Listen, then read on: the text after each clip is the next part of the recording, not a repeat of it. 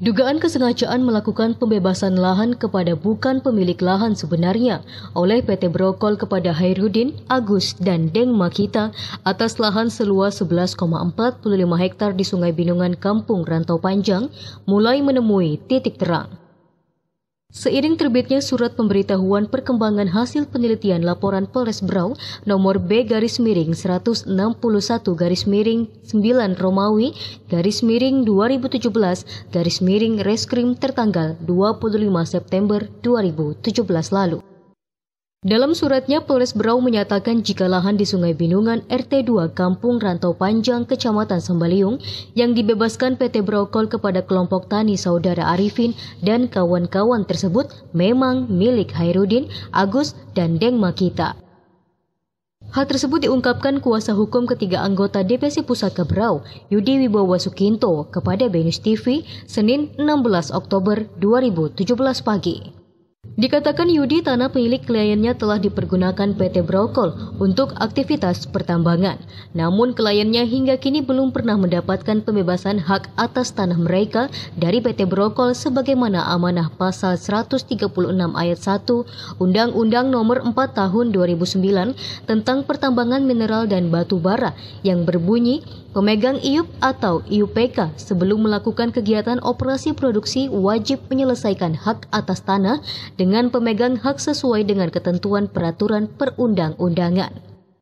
PT Brokol selaku pemegang IUP di atas tanah milik kliennya justru mengklaim membebaskan tanah kepada kelompok Tani Arifin dan kawan-kawan yang memiliki surat terbitan tahun 2006 hingga tahun 2008 yang dibebaskan seketika tahun terbitan surat.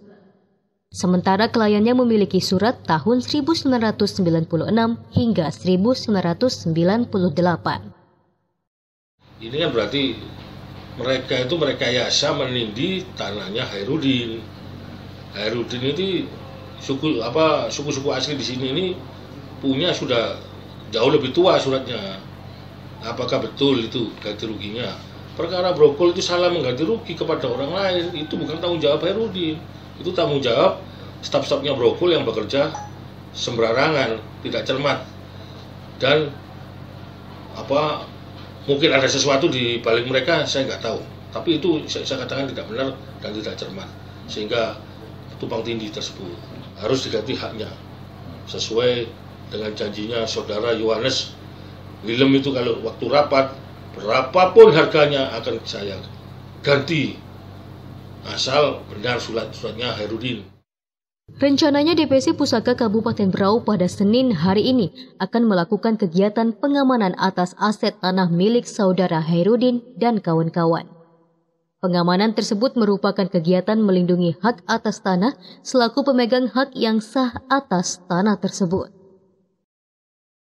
Sementara itu, Manajer Public Relation PT Brokol Arif Hadianto mengatakan PT Brokol merupakan perusahaan yang taat aturan dan selalu melibatkan pejabat-pejabat yang berwenang, termasuk dalam hal pembebasan lahan di Kampung Rantau Panjang. Bahkan, menurutnya lahan yang telah dibebaskan pihaknya sudah disahkan oleh dua pejabat kepala kampung terdahulu yakni Hasan dan Jumriansyah maupun kepala kampung saat ini Rahmawati Supriyadi. Terkait SP2HP Polres Berau, Arif mengatakan prinsipnya ada di poin 2C dan poin 3 SP2HP, di mana disebutkan lahan milik saudara Hairudin dan kawan-kawan tersebut telah dibebaskan oleh pihak PT Brokol secara kolektif kepada kelompok tani saudara Arifin dan kawan-kawan pada tahun 2008 dengan akte pelepasan dan pembebasan atas tanah tanggal 22 September 2008. Selain itu, SP2HP juga mengatakan belum didapat cukup bukti untuk dilakukan penyidikan. Karena kan masing-masing pihak memiliki alas hak yang sah, untuk itu atas laporan tersebut diminta untuk menempuh upaya hukum lain.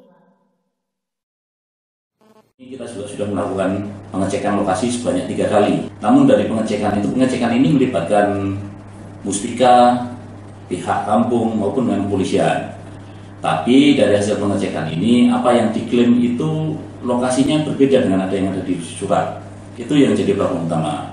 Kemudian menghadapi klaim ini, ya mau tidak mau, kita akan ikutin proses dan aturan yang berlaku, yaitu uh, siap membuktikan secara hukum di pengadilan. Miko Gustinanda, Benus TV melaporkan.